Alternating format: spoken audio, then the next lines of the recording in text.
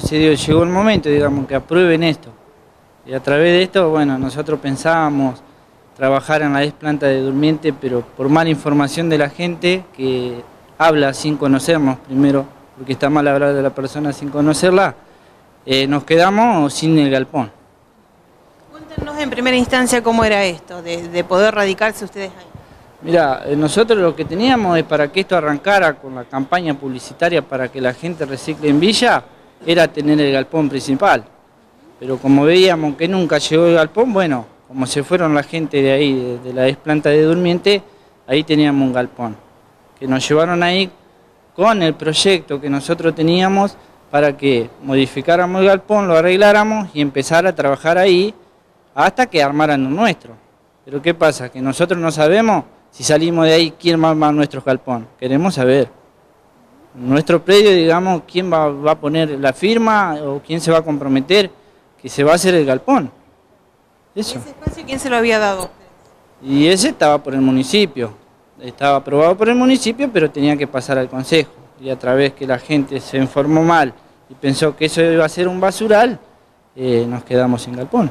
No, va a ser un basural, por lo menos no es lo que ustedes tienen en el depósito que este que están ahora. No, no, no. Nosotros lo que generamos, lo que íbamos a generar era todo reciclado seco. Y a través de eso generar, digamos, lo que queremos nosotros, que es generar trabajo para Villa. Digamos, inclusión. Inclusión, porque vos ves, nosotros está bien, nos metimos en la planta, todo, pero ¿qué? La contentura de nosotros que ahí no iban más los chicos a drogarse, ¿entendés? Ahora vos lo ves, se drogan en la calle. ¿Qué inclusión le puede dar si no le da un trabajo? No le puede dar ninguna inclusión. Y esa es la bronca que tenemos, ¿viste? Que hoy te prometen algo y después te lo sacan como nos sacan como chicharros de una ala, se cuenta, ¿entendés? Queremos que tomen el compromiso y que uno diga, bueno, nosotros vamos a ir al galpón y en tanto tiempo va a tener el galpón. Para empezar con el reciclado, porque si no, ¿dónde vamos a meter las cosas si no tenemos un galpón? Bueno, y ahora con esto de que ustedes querían hacer justamente el reciclaje.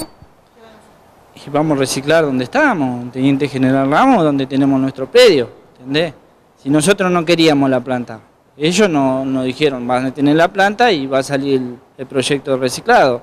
Ya pasamos un mes de los dos meses que dijeron. En un mes que nosotros, nosotros esperamos que tengamos el galpón para empezar con todo el proyecto que tenemos. Si no, hace cuenta que venimos remando cuatro años al pedo. Es así, ¿entendés? Lo que queremos que entienda la gente que hoy no somos la lacra social como todos piensan, ¿entendés? Hoy hemos aprendido que la, con la inclusión social hemos aprendido muchas cosas y queremos empezar a incluir a la gente de la calle que está sin trabajo, poder generar eso. Y a través del reciclado se puede, ¿entendés? Que miren más, o menos, que miren ellos dónde está el foco de infección, que en el basural hay basural a cielo abierto, que hemos combatido, hemos ido a la escuela a dar charlas, pero no sirve de nada, en un papel no tenemos nada firmado ni nada. En este tiempo, desde que se iniciaron, han aprendido mucho, porque con el tema de reciclar, por ejemplo, el tema de la madera, ustedes pudieron hacer bancos, pudieron hacer mesas y otros elementos.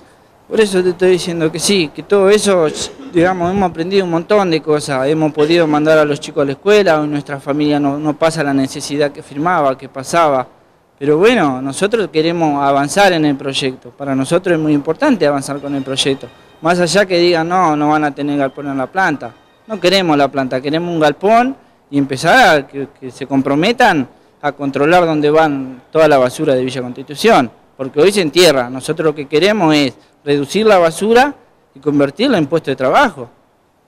El Consejo eh, sacó un decreto de ley de ordenanza hace cinco años atrás, eh, por lo cual están orde pidiendo que las empresas y la sociedad en sí ordenen los residuos para poder eh, tener un destino adecuado de los residuos.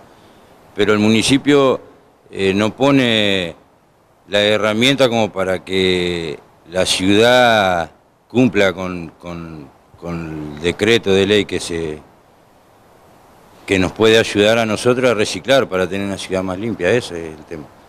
Necesitamos que el municipio eh, o medio ambiente, no sé quién es el que está a cargo de, de hacer respetar esta ley, que, que, se empiece a hacer para que se empiece a reciclar, si no estamos dando vueltas, estamos dando vueltas sobre algo eh, siempre es lo mismo, siempre estamos parados en el mismo lugar.